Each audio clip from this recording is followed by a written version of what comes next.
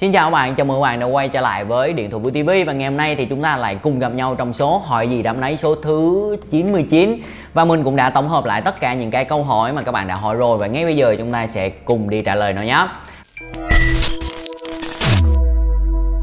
Rồi, câu hỏi đầu tiên là anh ơi cho em hỏi mua iPhone 11 bản LLA mới siêu nhưng khi tháo khay sim ra thì có sim trong đó gắn sẵn. Em gọi lên tổng đài thì người ta kêu là uh, gắn sim mới qua hải quan được. Có đúng vậy không anh? Còn một câu hỏi nữa em muốn hỏi là máy mua ngày 6 tháng 10 nhưng khi bật lên thì hạn bảo hành đã được kích hoạt từ ngày 4 tháng 10. Vậy thì có máy phải là máy trôi bảo hành hay không? Rồi, lý giải cho các bạn ờ, một số những cái vấn đề như sau. Đầu tiên ờ, cái câu hỏi mà các bạn kêu là có cây sim á. Thực ra cái vấn đề này mình cũng không rõ. Tuy nhiên có một số chỗ thì sẽ yêu cầu cái việc lắp cây sim để qua được hải quan thì uh, cái việc lắp cây sim này nó sẽ xảy ra hai vấn đề. Cái thứ nhất là cái máy của các bạn đã bị bóc siêu rồi. Và cái thứ hai thì máy của các bạn đã được kích hoạt lên rồi. Chính vì vậy nó mới có cái trường hợp tiếp theo đó chính là bạn mua vào ngày 6 tháng 10 nhưng cái thời hạn kích hoạt là từ ngày 4 tháng 10 đó là cái lý do mà tại sao họ phải lắp cái khay sim vào. Và như mình nghĩ á nếu như mà các bạn mua những cái chiếc máy như thế này nè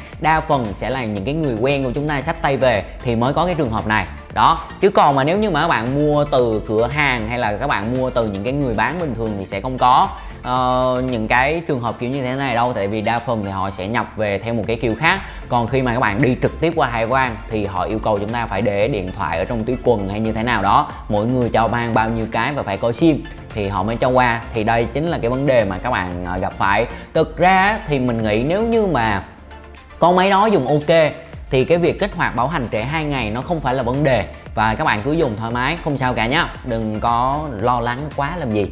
Rồi câu hỏi thứ hai là anh ơi làm bài so sánh Apple Watch SE và Apple Watch Series 5 đi ạ. À. nên chọn em nào? Rồi uh, mình đã có làm bài này rồi và mình so sánh cả ba cái.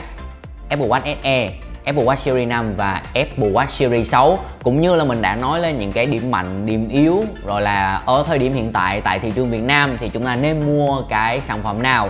Thì uh, mình cũng đã giải thích rõ ràng cho các bạn trong cái video lần đó rồi cho nên là các bạn hãy tìm lại nhé mình nhớ là so sánh uh, Apple Watch Series 5 SE với lại Apple Watch Series 6 nên mua con nào? Đó cái tiêu đề của nó là như vậy.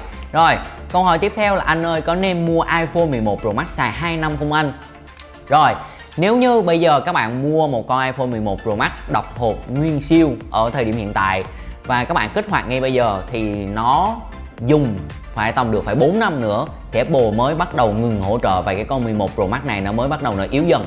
Đó, phải tầm 4 năm nữa các bạn à một con flagship và đặc biệt của Apple thì như các bạn đã biết rồi, một con iPhone 6s tới thời điểm hiện tại vẫn được lên iOS 14 và đã 5 năm rồi một thời gian rất là lâu nhưng mà nó vẫn được lên cái phiên bản hệ điều hành mới nhất. Thì đối với cái con iPhone 11 Pro Max này hiện tại nó đang gốc của nó là iOS 13 thì maybe nó cũng có thể hỗ trợ 14, 15, 16 và 17 nữa. Cho nên các bạn hoàn toàn có thể yên tâm và chúng ta mua về và chúng ta sử dụng trong thời gian dài nhé rồi câu hỏi tiếp theo là anh ơi thay pin xong thì bên điện thoại vui có dán lại doanh chống nước không ạ? À? rồi à, về cái vấn đề doanh chống nước này các bạn mình thấy các bạn phân vân khá là nhiều ấy à, mình thì mình không quan tâm cho nó cho lắm tại vì là khi mà cái chiếc máy của bạn mở ra rồi á kể cả các bạn có dán răng chống nước lại đi chăng nữa thì nó vẫn không coi chống nước được như từ đầu.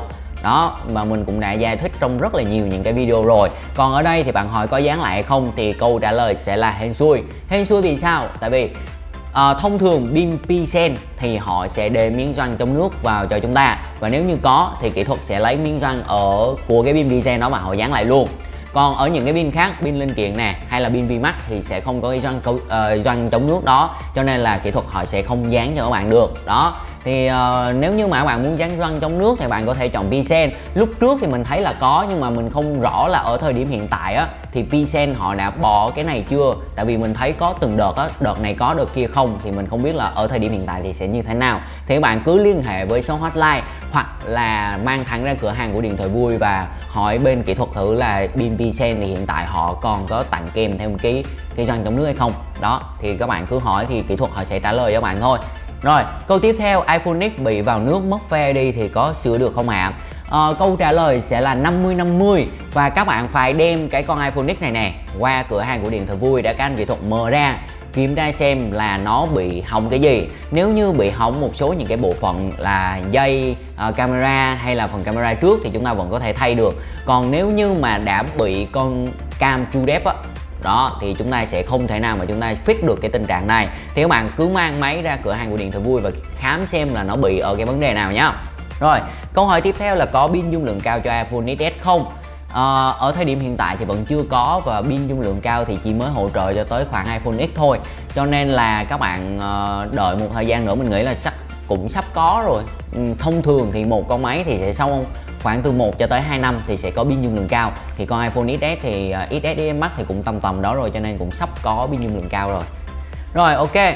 Câu hỏi tiếp theo là điện thoại iPhone 6s thì thay màn hình bao nhiêu? Rồi uh, mình sẽ trả lời cho bạn. Wow rất là nhiều giá luôn các bạn à thì đây đầu tiên chúng ta sẽ có màn hình uh, iPhone 6s và của Apple. Uh, thì sẽ có cái mức giá là 800.000 đồng. Và cái tiếp theo đó chính là màn hình Pixel V1.5 là cái loại màn hình mình đang dùng đây. Thì nó sẽ có mức giá là 1,2 triệu đồng. Và đó Ok. Và ở dưới thì sẽ là 6S Plus thôi thì sẽ có hai loại để cho các bạn lựa chọn. Một là màn hình linh kiện với giá 800.000 đồng hai là màn hình của Pixel với mức giá 1 triệu 2 thì uh, tùy thuộc vào nhu cầu của bạn thôi thì chúng ta sẽ chọn ra những cái uh, mức giá nào đó mà phù hợp với các bạn thì chúng ta sẽ thay cái loại màn hình đó rồi, câu hỏi tiếp theo là anh ơi cho em hỏi tí em đã lên iOS 14.0.1 nhưng à, tại sao trước dùng Picture in Picture dùng được nhưng giờ vẫn chưa được fix? À có phải lỗi do máy hay không? Rồi trả lời luôn cho cái câu hỏi này của bạn thì cái này là do YouTube họ chặn lại chứ không phải là do lỗi của máy hay là do lỗi của iOS và nếu như các bạn vẫn còn quan tâm tới cái việc là làm như thế nào để chúng ta có thể uh, sử dụng được picture in picture trên YouTube á thì mình cũng đã có một cái bài hướng dẫn chia sẻ cho bạn hai cách rồi. Thì các bạn cứ tìm lại cái video đó thì bạn sẽ làm được thôi nhé câu hỏi tiếp theo là độ pin Bisen thì có nguy hiểm trong việc sạc hay gì không anh? Mong anh đép à à, ờ, về cái độ nguy hiểm thì vẫn có à, nó sẽ có khi mà các bạn vừa sạc vừa dùng. Thì cái này thì các bạn thay pin nào thì cũng thế kể cả pin chuẩn của Apple thì các bạn cũng không được vừa sạc vừa dùng. Đó là một cái nguyên tắc tối kỵ. Đó cho nên là nếu như mà các bạn vẫn dùng như bình thường uh, các bạn vẫn uh, sạc xong rồi chúng ta dùng dùng xong rồi lại đi sạc hay là các bạn dùng uh, xem phim video thì vẫn bình thường thôi không có nguy hiểm gì cả miễn là đừng vừa sạc vừa dùng là được nhá. Rồi câu hỏi tiếp theo có link nào để cài CDA cho iPhone 7 Plus? No Computer iOS 13 không AD thanks. À, thật ra điện thoại vui cũng đã làm khá là nhiều bài về jailbreak uh, ờ, iOS 13 rồi thì bạn có thể tìm lại một số cái bài của Minh cũng có làm nè cài bằng Uncover uh, thì cũng khá là ok. Tuy nhiên á, thì iOS 13 cũng phải là tùy bạn chứ không phải là bạn nào thì các bạn cũng làm được. Và để mà tối ưu nhất thì mình nghĩ các bạn nên cài bằng checkren đi. Checkren mình thấy ổn định hơn nhiều cắm vào một cái là được ngay thì các bạn nên dùng checkren hơn là cái việc mà chúng ta cài bằng ờ, một cái app mà không phải dùng máy tính nhé rồi câu hỏi tiếp theo là anh chị cho em hỏi em muốn thay vỏ tám đỏ mà không biết thay vào có bị dại máy hay không?